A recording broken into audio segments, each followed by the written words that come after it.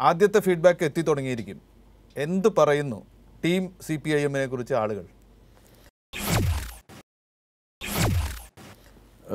C P I M സ്ഥാനാർത്ഥി നിർണയത്തിൽ സ്വീകരിച്ച ഒരു പൊതു രീതി ഉണ്ടായിരുന്നു. സമൂഹത്തിലെ എല്ലാ വിഭാഗങ്ങളുടെയും ഒരു പരിച്ഛേദമായിരിക്കണം സ്ഥാനാർത്ഥികളുടെ പാനൽ. സ്വാഭാവികമായിട്ട് സ്വാഭാവികമായിട്ടും ഒരു കമ്മ്യൂണിസ്റ്റ് പാർട്ടിയിൽ ബഹുജനങ്ങൾക്കിടയിലെ ഒരു നേതൃത്വ നിര. അവരാണ് കമ്മ്യൂണിസ്റ്റ് പാർട്ടിയെ നിയന്ത്രിക്കുന്നത്. അതുകൊണ്ട് നമ്മൾ എപ്പോഴും പ്രാമാണികത അതിനാണ്. ബഹുജനങ്ങൾക്കിടയിൽ പ്രവർത്തിച്ചുകൊണ്ടിരിക്കുന്ന ഒരു നേതൃത്വ നിരയെ പാർലമെന്ററി സംവിധാനമായ നിയമസഭയിലും എത്തിക്കുകയും അവരവിടെ നല്ല നിലയിൽ ബഹുജന പ്രശ്നങ്ങൾ ഉയർത്തുകയും ചെയ്യുക. അപ്പോൾ ആ പ്രാധാന്യം കൊടുക്കുന്നതോടൊപ്പം തന്നെ സമൂഹം പ്രതീക്ഷിക്കുന്ന ചിലതാണ് അതുകൊണ്ട് തന്നെ ഇത്തവണ നമ്മൾ പ്രൊഫഷണൽസ് അതോടൊപ്പം തന്നെ വിദ്യാർത്ഥി യുവജന രംഗത്തു നിന്നുള്ള നേതാക്കൾ വനിതകൾ ആ നിലയിലുള്ള കേരളത്തിന്റെ വിദ്യാഭ്യാസപരമായി മികവ് കാണിച്ചവർ. ഇങ്ങനെയൊക്കെ നോക്കിക്കൊണ്ടുള്ളൊരു പാനലാണ് നമ്മൾ തയ്യാറാക്കിയത്. അതുകൊണ്ട് ആളുകളിൽ ആവേശം ഉണ്ടാക്കുന്നുണ്ട്. ആളുകൾ എങ്ങനെ പ്രതികരിക്കുന്നു? നല്ല സ്വീകാര്യതയാണ് ഈ ഈ പാനലിന് കിട്ടിയിരിക്കുന്നത്. നമ്മൾ തിരഞ്ഞെടുത്ത വ്യക്തികൾ നമ്മുടെ ആ തിരഞ്ഞെടുപ്പിന്റെ ഒരു പ്രോസസ്സ് അതും വളരെ സഹായകരമാണ്. കാരണം വലിയ ചർച്ചകൾ ഉൾപാർട്ടി ചർച്ചകൾ സി പി ഐ എം ഇതിനു വേണ്ടി നടത്തുകയുണ്ടായി. അപ്പോൾ നമ്മളതിൽ സ്വീകരിച്ച ഒരു സമീപനം സമൂഹത്തിന്റെ മുന്നിൽ തുറന്നു വെച്ചാണ് ശരിക്കും. നമ്മുടെ ഒരു പൊതു മാനദണ്ഡങ്ങൾ ഒരു സ്ഥാനാർത്ഥികളെ നിശ്ചയിക്കുന്നത് സംബന്ധിച്ചുള്ള ചില പൊതു മാനദണ്ഡങ്ങൾ ഉണ്ടാക്കുന്നു. ആ മാനദണ്ഡങ്ങൾ വെച്ചുകൊണ്ട് താഴെ ജില്ലാ സെക്രട്ടേറിയറ്റുകൾ ചില നിർദ്ദേശങ്ങൾ കൊണ്ടുവരുന്നു. ആ നിർദ്ദേശങ്ങൾ സ്വീകരിച്ച സംസ്ഥാന സെക്രട്ടേറിയറ്റും സംസ്ഥാന സമിതിയും പരിശോധിക്കുന്നു.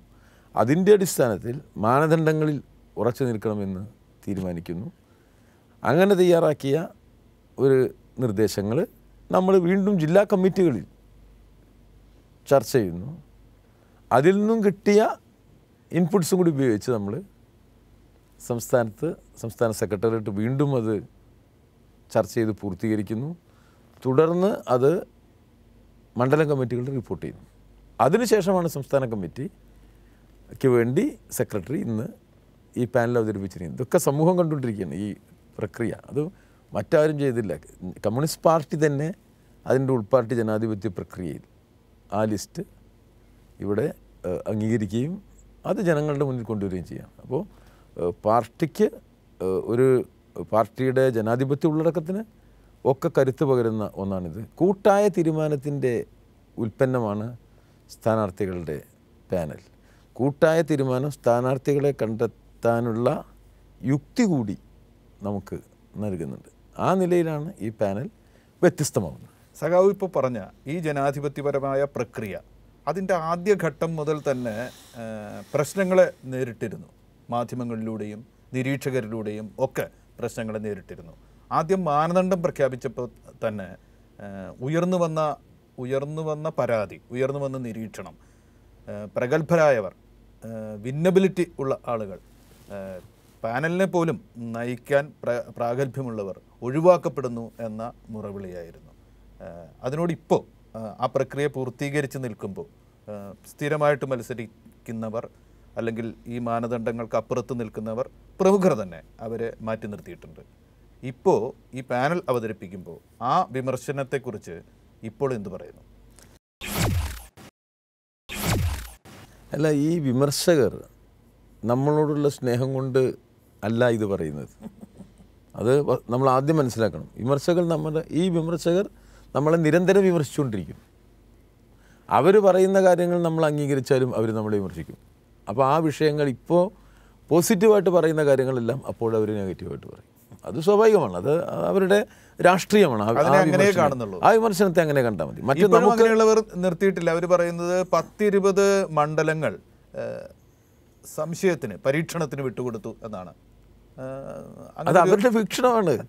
നമുക്കൊരു പരിശോധന നമ്മൾ നടത്തിയിട്ടുണ്ടാവുമല്ലോ. പാർട്ടി എന്നുള്ള നമ്മൾ പരിശോധിച്ചിട്ടുണ്ടാവും നമ്മളിവിടെ എടുത്തിരിക്കുന്നത് അവർ കാണുന്നത് പോലെയല്ല നമ്മൾ മാനദണ്ഡത്തെ കണ്ടത്. അതാണ് കണ്ടത്. അവരതിനെ തെറ്റായി വ്യാഖ്യാനിക്കുകയാണ്. മാനദണ്ഡത്തിൽ കേവലം ഈ രണ്ട് തവണ തുടർച്ചയായി ജയിച്ചവർ മത്സരിക്കേണ്ട എന്നത് മാത്രമല്ല മാനദണ്ഡം. ആ മാനദണ്ഡത്തിന്റെ കൂട്ടത്തിൽ നമ്മൾ വേറെയും കാര്യങ്ങൾ പറയുന്നുണ്ട്. ഒന്ന് ബഹുജനങ്ങൾക്കിടയിൽ സ്വീകാര്യത ഉണ്ടാവണം. അതാണ് ഒന്നാമത്തെ വരി. അല്ലാതെ രണ്ട് ടേം നടത്തണമെന്നല്ല. ബഹുജനങ്ങൾക്കിടയിൽ സ്വീകാര്യത ഉണ്ടാവണം. വിജയസാധ്യതയ്ക്ക് മുൻഗണന കൊടുക്കണം. അതോടൊപ്പം യുവാക്കൾ യുവതികൾ വനിതകൾ പ്രൊഫഷണലുകൾ ഇവരെ കൂടി ഉൾക്കൊള്ളിക്കാൻ ശ്രമിക്കണം. അതെല്ലാം ചേർന്നതാണ് അതിനുശേഷമാണ് നമ്മൾ പറഞ്ഞത് തുടർച്ചയായി മത്സരിക്കുന്ന രണ്ട് തവണ ജയിച്ചവരെ മത്സരിപ്പിക്കേണ്ടതില്ല. ഈ നിലയിലുള്ള മാനദണ്ഡങ്ങളിലൂടെയാണ് അത് പോകുന്നത്. അതിനൊരൊറ്റ ലക്ഷ്യം മാത്രമേ ഉള്ളൂ.